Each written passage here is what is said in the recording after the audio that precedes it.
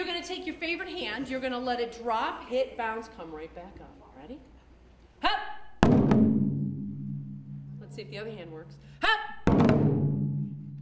Like most music, given the opportunity to work with other people, it's a great way to create uh, teamwork and a sense of community.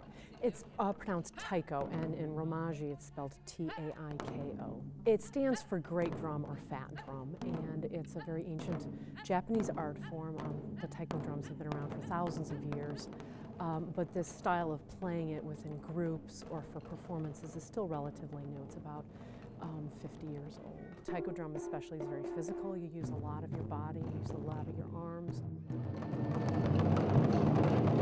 It's an easy way to make a really loud sound.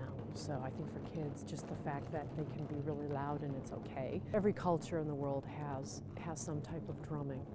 Um, so it was one of the most simplistic ways of making sound. We do have a website. It's called Taiko AZ. That's T-A-I-K-O A-Z.com and that will link you to performances that we have and also all the classes that we offer for children and for adults.